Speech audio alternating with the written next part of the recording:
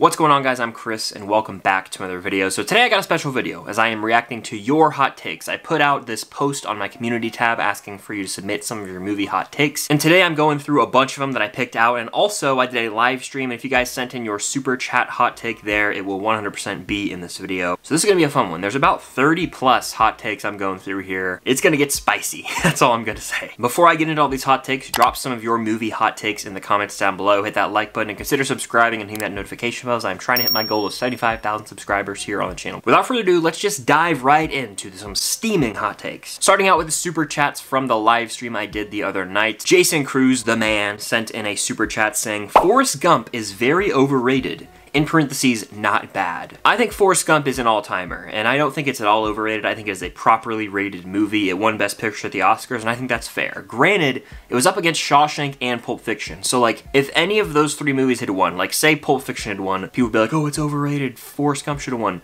Or if Shawshank won, people would have said the same thing. It's all like, in retrospect, one of those three movies had to win, because they were the best three movies of the year, and Forrest Gump just so happened to be the one that took home the award. I love the movie, I have fond memories of watching it growing up, and I think it's properly rated. I think a lot of people have it high on all-time lists, and I think that's valid. I don't think it's overrated personally, but I do like how you said it's not bad, because it's not a bad movie. The next super chat is from Ben Maloney. He says, hot take, Top Gun Maverick is the best sequel of all time, slash Ant-Man 1 is the most underrated MCU movie. So I'll address the back half of that hot take first. I agree, Ant-Man is probably the most underrated MCU movie. The first one is just a blast. In fact, it's a top 10 MCU movie for me. Like, I think a lot of people are like, oh, it's cute, it's Ant-Man, but legitimately a great movie. So I will agree with you there. It is very underrated, underappreciated more so. In terms of the first part of your hot take, Top Gun Maverick is the best sequel of all time. I wouldn't go as far as to say that, but I will put it in the conversation of one of the greatest sequels of all time. Like, it might be a top 10 best sequel ever, but I'm not going to dismiss a movie like Empire or The Dark Knight. But Top Gun Maverick is elite. It's my favorite movie of last year. It is no doubt a top 10 sequel of all time, but the best, I can't go that far. The next super chat hot take is from Elias Word, who says, Hot take, Watchmen is better than The Dark Knight. I think this is a piping hot take, because on the one hand, The Dark Knight is regarded as arguably the greatest comic book film of all time. Watchmen, on the other hand, a lot of people haven't even seen. And no disrespect to Zack Snyder or any of that, but I haven't actually seen the Watchmen movie, so it's hard for me to fully address this. If Watchmen was on the same caliber as The Dark Knight, it would have been hyped up enough, and I would have seen it by now, if that makes sense. The next super chat hot take is from Kyle. He says, Thor Love and Thunder is the worst Thor movie. I agree 100%. I don't even know if this is a hot take at this point. I think that most people would probably agree that Thor Love and Thunder is the worst of the four Thor films. And don't you worry, we're going to talk about Love and Thunder later in this video. Moving on, the next super chat hot take says, My hot take is Guardians of the Galaxy Volume 2 is better than the first Guardians of the Galaxy. I think this is a very hot take because the first Guardians is a top tier MCU movie. We're talking top 6, 7, possibly top 5 or 3 on any given day. I do, however, think Guardians 2, at least for me personally, I've sort of hopped on this train of being like anti-Guardians 2 without having given the movie a fair rewatch in quite some time. So I, I am going to rewatch the movie next month in preparation for Guardians 3, and I think I'm going to have a whole new appreciation for it.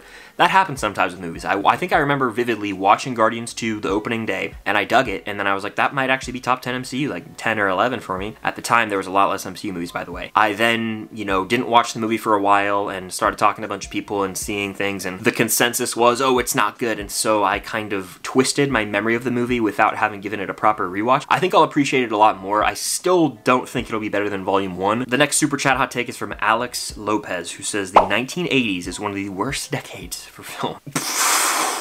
I think that in terms of, you know, the Oscar winning films, like Best Picture from the 80s, I have seen the least of, probably, if we're talking 60s, 70s, 80s, 90s. But in terms of impactful movies that have, are iconic as hell, I'm gonna sit here and just rattle some off. Raiders of the Lost Ark, Temple of Doom, Last Crusade, that's three Indiana Jones films. Die Hard, Terminator 1, Aliens, Empire Strikes Back, Return of the Jedi, E.T., Back to the Future. I mean, the list goes on and on. The Breakfast Club, Ferris Bueller's Day Off. I mean, I could sit here forever. Hell, even Platoon came out in the 80s. That was a Best Picture winner. So I think the 80s is an incredible decade for film. I do think it took the least risks if we're comparing it to the 70s or 80s. A lot of people say the 70s is the best decade for films, you know. You got movies that took risks, that were darker. The 90s, sort of this resurgence with like uh, David Fincher making big hit films like Seven and Fight Club, The Matrix coming out, sort of restructuring the blockbuster and the big movie mindset, right? Well, the 80s was a lot of what we love. But the 80s, to me, is not one of the worst decades for film by any means. The next super chat hot take is from Landon, yet again, who says, Hot take, Amazing Spider-Man 2 is better than Spider-Man Spider-Man 3. I don't know how hot this is because they're both not the best Spider-Man movies. Uh, we'll talk about, I think, both of these actually later on in this video, but I still think if I was given the two movies and it was like, hey, rewatch one of these right, right now, I'm gonna take Spider-Man 3 because you've got Sandman. I love the dynamic between Harry and Peter in that film. You can laugh at Venom and the stupidity of it. The thing about TASM 2 is it's got an incredible Gwen-Peter romance, but other than that, there's way too much going on with the villains and I never really had the desire to rewatch that movie. So I can't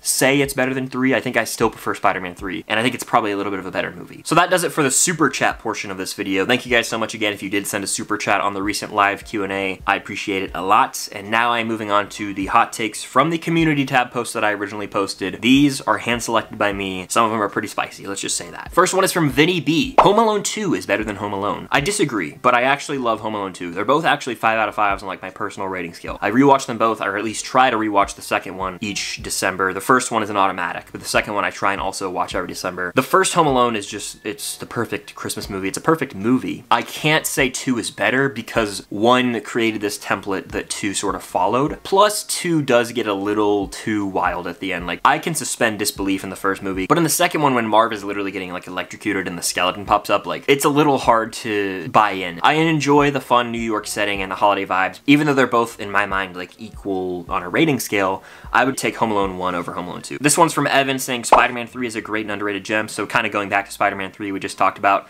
I do think that it is a little underrated. People, again, sort of hopped on this hate train for it. It definitely is the weakest of the of the Raimi trilogy, without question, but it still is a solid movie in my opinion. It's the, the weakest, it's a little too long, sort of uh, overstuffed with villains, honestly. They could have cut out Venom, just kept Sandman as the main villain, but I do think it's underrated. I don't know if it's like a gem, but I do think it's underrated. This is a long one, so uh, get your popcorn ready. This is from The Last Resident. I love Star Wars The Rise of Skywalker. Yes, it is a flawed movie and it is a mess at times, but I can't help but love it. It just feels like everything I want a Star Wars movie to be. It has twists that you don't see coming, a fun galactic adventure, great character moments between Rey and Kylo Ren, and an amazing third act. To me, Rise of Skywalker just represents everything I love about Star Wars, and it's my second favorite film of the franchise. What I'm about to say is not a personal attack on you, The Last Resident, and I appreciate the uh, hot take. This is just generally me speaking about the way I feel about the movie, so I'm glad that you enjoy that movie. I don't, and that's no secret at this point, so let me just address the points here from my point of view. I don't really think there was many twists or turns here because when they fake killed Chewie, I was like, he's not dead. When they were gonna wipe 3PO's memory, I was like, you're just wasting our time here. It was lacking charm. At this point, it almost feels like the actors are kind of drained. Rey and Kylo had some decent moments here. I just can't stand how it makes zero sense that Palpatine came back. None. I'll argue that to the grave. It makes no sense that Palpatine came back. Somehow, Palpatine returned. There's literally a line in the movie acknowledging the stupidity of it all, so I just don't get it. It's my least favorite Star Wars film, and it's not particularly close, but I know people like it, and more power to you. Circling back to The Amazing Spider-Man 2, The Amazing Spider-Man 2 is a really good movie and underrated. It has, in my opinion, the best web swinging in all the Spider-Man movies, and the action is great as well. I think it has some, the best web swinging for sure, like the POV shots of Spidey swinging through New York are amazing. The score is wonderful, and uh, the action is badass too in the final act. I just think the movie as a whole is fairly forgettable. Like, there are standout moments, but the actual movie, kind of a mess. The whole Goblin storyline, Electro, it's there's too much going on, unfortunately. I do love Andrew Garfield as Spider-Man. He's my favorite probably at the end of the day. I think he's the best Spider-Man. But the movie itself, I can't just, I can't look past it. It's pretty forgettable and like a drag when I watch it. The movie opens with like his dad on a plane. It's very strange. Very strange opening for a Spider-Man movie. Next one is from Fear the Deer. Bullet Train is an elite level action film. That's a fact. This movie is overhated. I know a lot of people were like, it sucks when it came out. Rules. I've seen it three times. It is, uh, it's an elite action movie. I 100% agree. We don't get these ensemble type movies like this anymore where the cast is just having a blast. There's kick-ass action from start to finish. It is great. Next one is from Ben at Meters Reviews. Everyone go subscribe. I'll put uh, his link up above. Help him get to 1,000 subscribers. It'd be awesome. Alien 1979 is a snooze fest. I disagree, Ben. I think that it is a damn great horror slash sci-fi film. I've only seen it once, but I do own it on Blu-ray. I was riveted from the start here just because there was this sense of impending doom looming over my head as I watched the movie. I felt like it was just a slow burn building up to something horrific happening, and sure enough, something awful happens, and that sort of incites this almost slasher in a way. So I really love that movie. Granted, I've only seen it one time, but I can see how the first hour can drag a little bit, 100%. So I, I see where you're coming from for sure, Ben. Next one's from Alex Lopez. I think The Phantom Menace is the best Star Wars film since the original trilogy. I disagree, but I will definitely acknowledge the fact that The Phantom Menace is overhated. Nostalgia plays a huge part in that for me, I'm not gonna lie to you guys. I grew up with the prequels and the original trilogy, so I've seen this movie a hundred times. But it's flawed. it's very flawed. I think Revenge of the Sith is a better film. Hell, I would argue that Rogue One and Solo are probably better than The Phantom Menace. The Force Awakens is probably better too. So I don't know. In terms of pers personal ranking, it might actually be higher than all the movies that I just mentioned. Like, there's no denying, in my opinion, that The Phantom Menace is overhated and a little underrated. It's not the best since Return of the Jedi. I think there's better stuff. Next, we've got Toxic Gamer 331 with a toxic take. I'm just playing, but Up is only good because of the opening scene. No disrespect here, but I just don't like this take from, I've heard it a lot, by the way, so it's not just you. But like, people will always be like, Up sucks after the first 10 minutes, and I'm always like, no, it's perfect after the first 10 minutes. The first 10 minutes hook you into Carl Fredricksen, and it breaks your heart, and you feel for this guy, so it's perfect setup and characterization for him. And then over the course of the movie, he goes on this adventure that Ellie would have always wanted. You know, adventures out there, and then by the end of the movie, he's like got a new lease on life. Like, he has a new appreciation for the little things through Russell. It's tragic, it's heartbreaking, but it's beautiful. And I think that the adventure in that film is, is felt. There's a great twist in the movie. There's lovable characters like Doug. I think people are really too harsh on the rest of the movie. Like, obviously, the first 10 minutes could have stood alone as an Oscar winning short film. And I, I never understood the hate for the latter half of the movie. That's just me, though. We got another hot take here from a username that is too long to read. no Way Home isn't great on rewatch. Here's what I'll say about that. I've seen the movie seven times. Seven. And there's no denying the fact that each time you rewatch the film, it loses a little bit of that original oomph, that, that audience reaction factor, but I still think it's a great movie on rewatch. Like the original adrenaline rush of seeing Tobey and Andrew on screen with Tom, that's gone, but it still feels special. And I still think it's a damn great movie that a lot of people have sort of turned on. I still love it. I'll always love that movie. I mean, the only thing for me that I've noticed on rewatch is that the first hour is a little slow and uh, takes a little too long to get going, but the last hour and a half is perfection. This one's from Gavin Cole, says Jaws 2 is way better than the first. Jaws is one of the best films of all time. Tried to sit through Jaws 2 once, I just couldn't do it. Jaws basically created the shark movie. so many movies have tried to rip that off, but Jaws is an all-timer. It's one of Spielberg's best, and uh, I would have to say I strongly disagree. This one's from LN Rocky. Star Wars prequels are better than the original trilogy. They're not in my opinion. But I do love the prequels, so I'll give you that. I think the original trilogy of Star Wars is one of the best trilogies of all time. It's my personal favorite. The Dark Knight trilogy, the Lord of the Rings trilogy, and the original trilogy of Star Wars are like the three perfect ones to me. I would have to say that I disagree, but I love the prequels. No prequel hate for me. This next one is from my boy Jacob over at Starcourt Food Court. He has multiple hot takes, but I'm just gonna pick one. He says the Batman is overrated.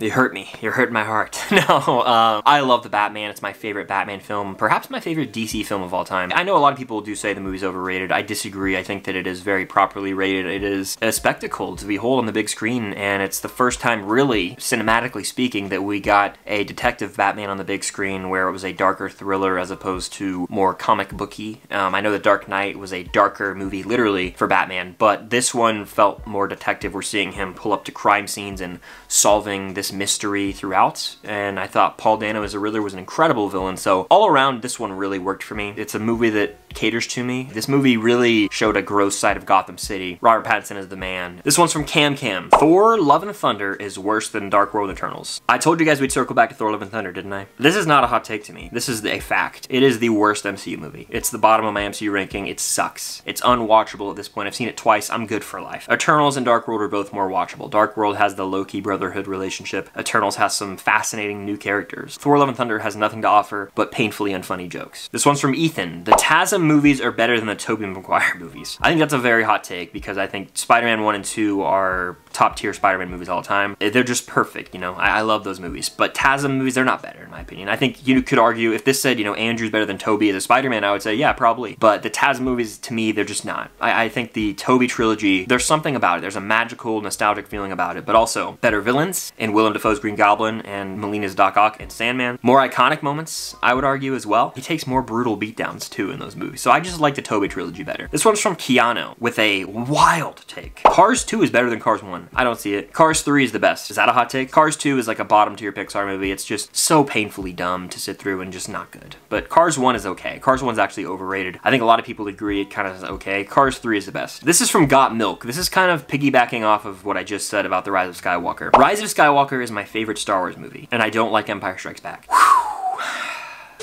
Everyone's entitled to their own opinion, obviously, but this is a take that itches my brain. Empire Strikes Back is a is a perfect movie. It's not my favorite Star Wars movie, but it's a top three Star Wars movie. It's not in someone's top three. If it's not in someone's top five, actually, I would love to sit down and pick their brain as to why. Rise of Skywalker is the worst Star Wars movie to me. Man, that movie, I don't know. I don't know what people see in it that like it. I just don't. And I, I don't know if I ever will be able to understand that, and that's totally fine. Good lord, I can't. I can't do it. I can't do it.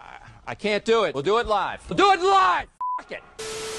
This is from Movie Fan 2002 with the Luke Skywalker from Battlefront profile pic, it looks like. Sick. I think Onward is Pixar's overrated movie. I think he misspelled underrated because no one talks about this movie. It is elite, in my opinion. The top 10 Pixar film, and no one's highly rating this movie. It, no, no one's seen this movie, I feel like. Everyone just swept it under the rug because then the pandemic hit like the day it came out and just went to Disney Plus, and it's like the forgotten Pixar movie. It is underrated highly, in my opinion, so I disagree. This is from Scrummy64. Temple of Doom is the best indie movie, and it's a hill I'm willing to die on. It's the third best indie movie. How about that? Look, no indie movie, even five, which I'm I'm pumped for Dial of Destiny. Nothing will ever top Raiders. That is like one of the greatest adventure films, hell, films alone of all time. Last Crusade is extremely close. If Dial of Destiny can be the third best indie movie, that's high praise right there. Temple of Doom is good. I, I, really like Temple of Doom, but I'm not gonna lie to you, it's way too cheesy at times. There's a whole dinner table scene where they're eating exotic foods. It's like, what are we doing here? There's literally a moment where they jump out of a plane and they land on like a raft, and it was just like on a mountain. Like they would be dead, but I, I'm just saying, those are little nitpicks. Temple of Doom's fun. It's the darkest without question. I mean, this movie is dark. It has some messed up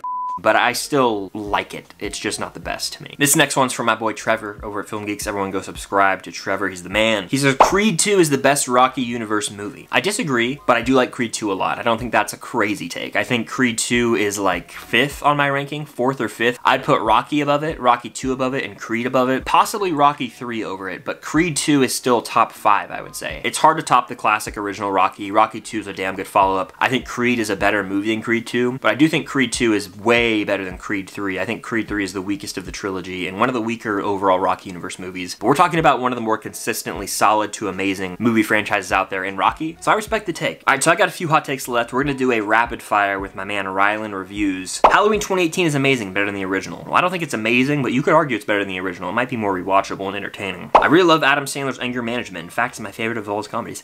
Haven't seen it, so I can't answer it, but I think that's a movie with Jack Nicholson, so maybe one day I'll watch it. At World's End over Dead Man's Chest, that's a hot take. Dead Man's Chest is arguably better than Curse of the Black Pearl. I love At World's End more than most people, but it's just too long at times and way too bizarre at times. Still love the movie though. Wakanda Forever is bottom 5 MCU. Wow. It's not bottom 5 for you, it's like 19th in my ranking or something like that. Out of like 31 by the way. But I do think it's a little overhyped. The Saw franchise is awesome and thoroughly well written in many moments. The Saw franchise rules. The first movie is one of the best horror movies I've ever seen actually. It has one of the best twists out there. I enjoy a bunch of the sequels for what they are. It's like a guilty pleasure thing. Like I watch them with the pretty much it commentary tracks, which makes the movies way more bearable and it adds a comedic presence to the movies. But they're very hard to just sit down and binge because of how disgusting they can be. But yeah, I think that it is fairly well written. They do retcon too much and it gets kind of a lot to keep up with and frustrating, but it is a pretty decent franchise, surprisingly. Batman v Superman is top tier DC and one of the coolest comic book films out there. I disagree. I don't think it's top tier DC. I also find the film rather boring on rewatch, but I do like the fight between Batman and Superman. And the last hot take here from Rylan. Aaron Eckhart as Harvey Dent is the second best comic book villain behind Heath Ledger's Joker. Wow. I do think that he definitely isn't appreciated enough because Heath Ledger steals all the spotlight, and rightfully so. Ledger's the standout of the movie, but I think that if like Eckhart as Harvey Dent was in any other film, people would appreciate his performance more. I will say he's probably not even a top 10 comic book villain for me. I just think Ledger blows him out, and that's the the tough thing is they're both in the same movie and Ledger steals all the spotlight from him. And the last hot take for this video from Joe. Please show mercy on me. I think Phase 4 is the best Marvel phase. Well,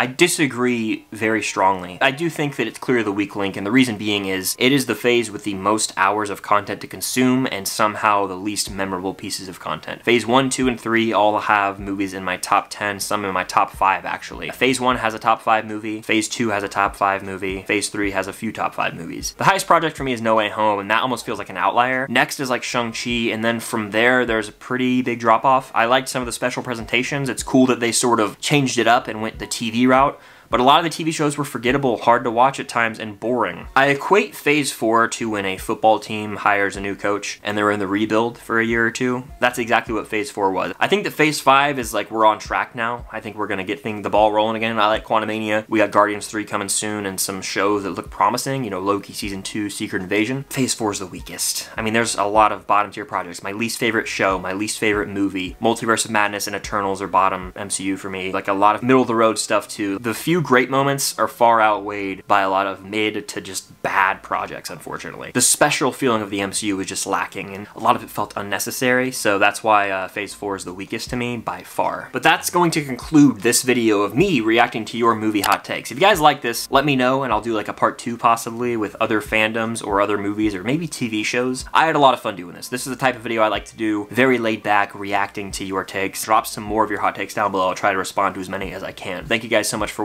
watching. Stay tuned for some content coming very soon.